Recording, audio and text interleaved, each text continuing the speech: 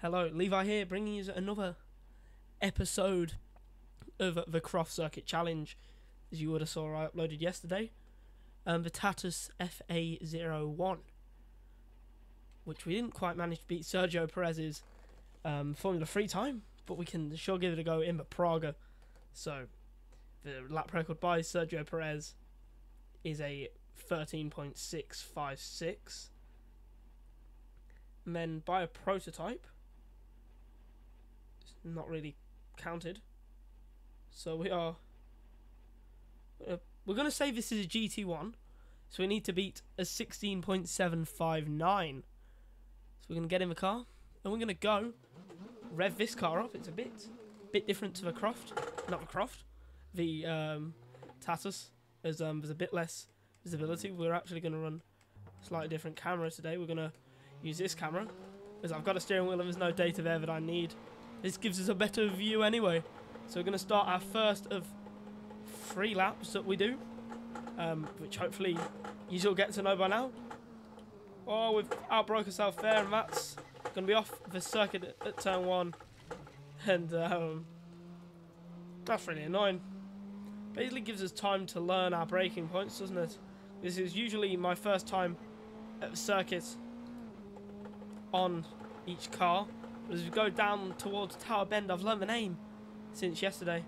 Down towards Tower Bend, we're going to break similar points to what we did in the FA1.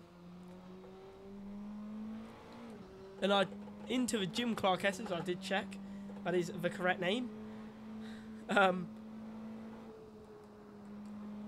and this is Sunny In, actually. Sunny In is basically two corners. Being here and there. Then as we go through out of Sunny In, in towards Sunny Out. Sunny Out might be flat in this. I don't feel like it was in the other car as we... Well, we go too deep into the complex and we drop it. That's us facing the wrong way but we do get the tyres heated up nicely.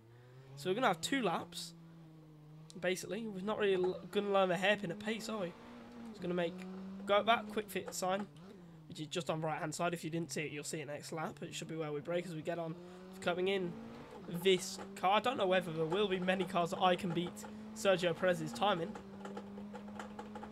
I'm not too sure what the GT1 time was. Just before that first bollard there, seems to work fine as we go towards Chicane, which is its name on the track map, which we can see is still flat. It's still a very, very sketchy area. Let's go down once again for the second time today towards Tower Bend. Of that dodgy bit, we're gonna brake lightly at about the 100 meter board. So these are not the optimal lines. It's just me testing cars at sort of what is a local circuit. I live in the northeast. This is sort of a northeastern circuit. So go through the Jim Clark S, says down towards Sunny Inn in fifth gear, and very quick we're gonna lift heavily there. Gonna brake, brake, brake, brake. Oh, that's us off the circuit. And I've realised I'm not very good at um, Croft in a prototype. We're going to try and set at least one valid lap. I'll go two more times, so we'll do four laps today, as I've sort of messed it up. The Tatus is a bit easier to get right. I feel like it's got a bit less power, and I think the aero on it is a bit more prominent on a what is a base setup on the softest compound available to us. We'll go remember Prague around in that final corner once again. Another invalid lap because of mistakes made by myself and nobody else. I think it might even be slower than the Tatus. Can't quite remember what the Vitatus's lap time was. I'll probably put it on the screen at the end. Maybe I won't. Depends how I feel in it. But now we go for our first, hopefully, valid lap. Let's go through the chicane. It's really quick I think that first chicane thing is called Hawthorne. Hawthorns, but I'm not too sure. Don't quote me on that. As we go just before the patch of dodgy concrete or tarmac. Take a decent apex. We don't use all that runoff curb because I'm bad. As we go into Jim Clark Esses. Now into Sunny in. Gonna brake here slightly, then slow down heavily so we don't spin. Use all that curb, lift and go.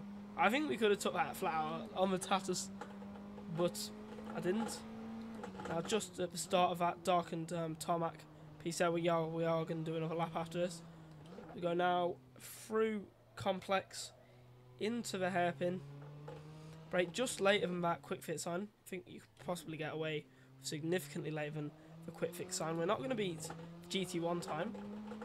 Maybe it is just because I'm bad and I don't know the car very well. But I'm not too sure why that beats the Tatus. They say uh, this Ghost is going to really annoy me. We're going to go late on the brakes in turn 1. When we get, we've carried a lot more speed there. Through turn 1, 2 and 3 into this corner. I'm not too well known with the corner names into chicane. I know this is called chicane for certain as my AI car there sort of catching us on this straight. I didn't get the best exit that we could have asked for.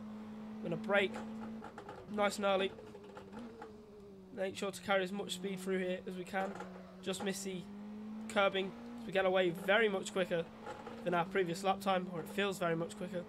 Through the Jim Clark as we go, we're going to try and really push the car as much as I feel I can.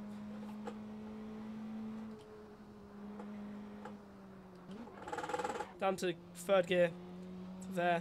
And we go wide, and that's going to be the video over, but we're going to... Yeah, we know we won't be, but we'll give it a go anyway. So I think it is... Well, it is going to be a 26. Yeah, as we overcook it. And yeah, that's going to be all for today, so thanks very much for watching again. I hopefully you enjoyed it. I'll see you again soon. In a bit. Bye-bye.